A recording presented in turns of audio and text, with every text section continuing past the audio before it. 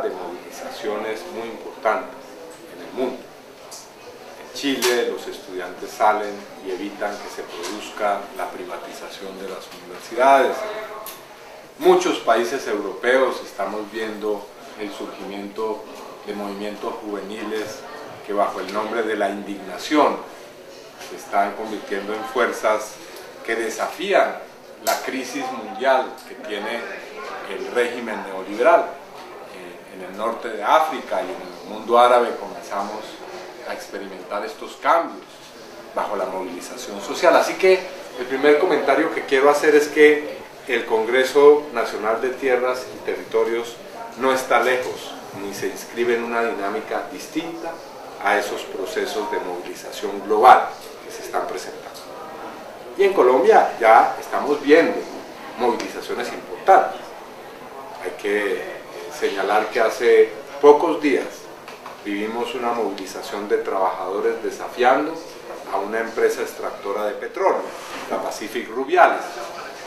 Por solo señalar uno de tantos ejemplos que hemos venido viendo en estos últimos días y por lo tanto decir que el Congreso Nacional de Tierras y Territorios es un nuevo paso en este proceso de escalonamiento de la movilización social contra el modelo que quiere imponer las llamadas locomotoras del progreso del gobierno santo. Y diciendo eso, señalar que no es de buen recibo en este Congreso las declaraciones recientes del gobierno y eh, de los grandes medios como El Espectador y El Tiempo, intentando ya estigmatizar la ola de movilización social que se vive en Colombia, diciendo por una parte que todo esto no es más el reflejo de la infiltración de la guerrilla en el movimiento social, diciendo que estas movilizaciones que comienzan a darse en Colombia son producto, oígase bien, de las nuevo, del nuevo ambiente de garantías y libertades que está dando el gobierno de la Unidad Nacional. No hay tal cosa, la movilización social en Colombia se está dando porque se están destruyendo los derechos sociales, porque el proyecto de la minería amenaza con socavar a cientos de comunidades en Colombia, porque el proyecto de la agroindustria se está construyendo sobre las tierras despojadas de los campesinos, de los indígenas, de los afrodescendientes, que ahora bajo la forma de un tímido proyecto de restitución de tierras se quiere legalizar para los grandes conglomerados, para los grandes, eh, las grandes empresas agroindustriales. Así que, dicho eso, este Congreso para mí es una gran reunión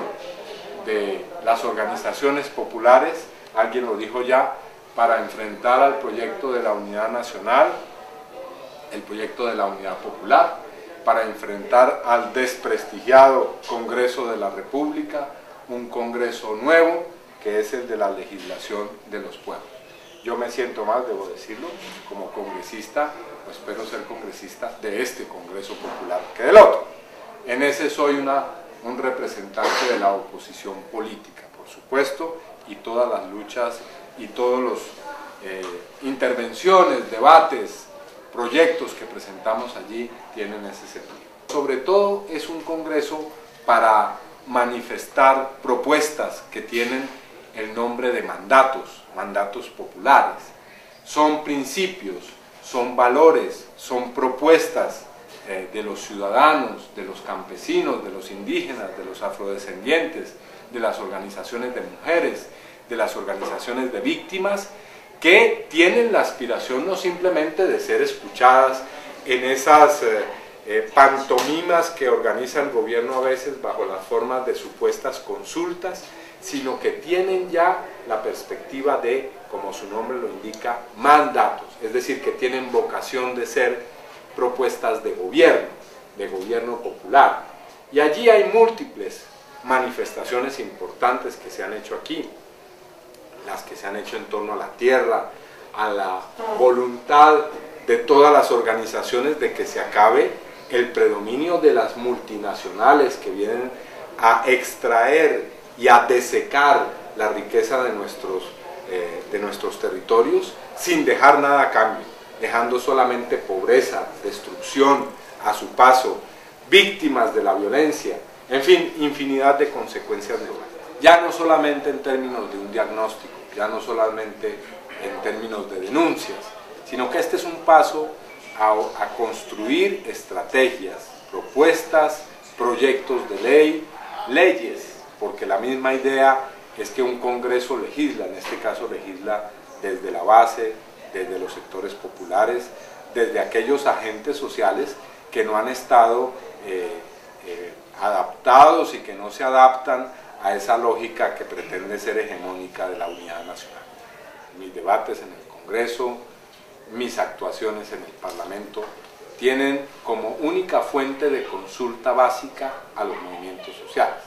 Digamos, los debates que he hecho en el Congreso, todos han sido consultados con las organizaciones.